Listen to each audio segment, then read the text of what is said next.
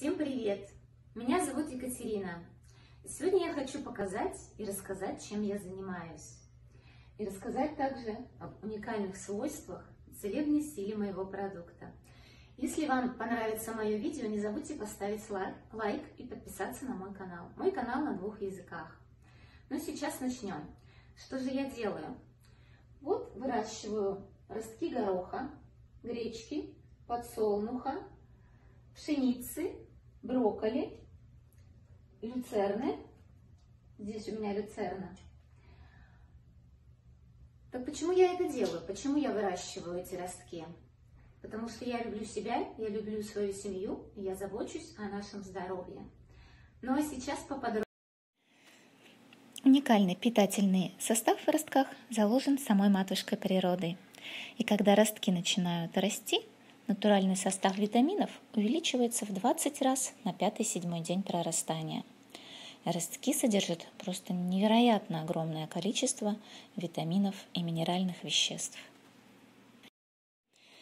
А ферменты в ростках помогают переварить не только сами проростки, но и любую другую пищу. И также наладят работу симбиотических бактерий и снимут возможность дисбактериоза, укрепив иммунитет кишечника и всего организма в целом.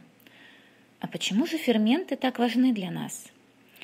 Без ферментов невозможно ни пищеварение, ни дыхание.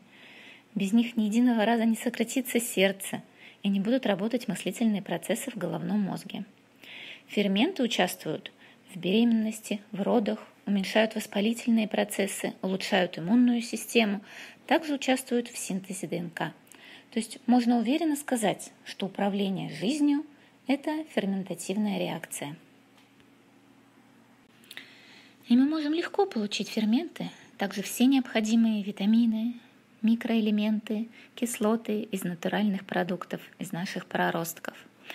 А люди испытывают постоянно недостаток витаминов, минеральных веществ, и это, естественно, ведет к снижению иммунитета, гормональному нарушению и нарушению процесса синтеза белков и всех других необходимых и важных соединений в организме человека. Но люди, как правило, не задумываются об этом, ну или просто даже не знают. Также очень важно потребление клетчатки.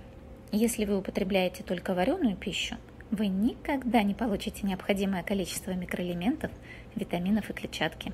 Поэтому просто жизненно важно необходимо потреблять проростки каждый день. Пить смузи по утрам или на ланч, добавлять в салаты или даже просто класть на бутерброд. Можно делать небольшие закусочки с ростками. Все народы по всему миру с древних времен употребляли проростки. А, китайский император, например, около трех тысяч лет э, тому назад до нашей эры написал книгу о целебных свойствах ростков и других трав. Или вот еще один пример. Всемирно известный э, капитан Джеймс Кук поил своих моряков специальным напитком из проростков и победил такую болезнь, как цинга. Также на протяжении Первой мировой войны солдат вылечивали от цинги этим замечательным волшебным напитком из ростков. А на протяжении Второй мировой войны в связи с нехваткой продуктов солдат кормили ростками, и это был отличный ресурс растительного белка вместо мяса. И в исторических данных вы найдете очень много примеров, где людей вылечивали от разных болезней с помощью проростков. По всему миру миллионы людей потребляют проростки, и продолжительность жизни этих людей значительно выше. Ну а теперь подведем итоги. Вареная пища это мертвая пища, жареная пища – это мертвая пища.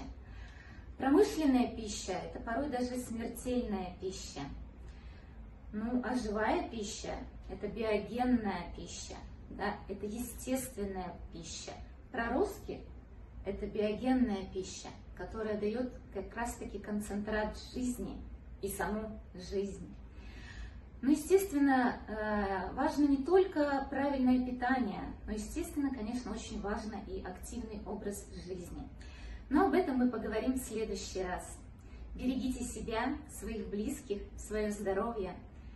И я желаю вам прекрасного дня и отличного настроения.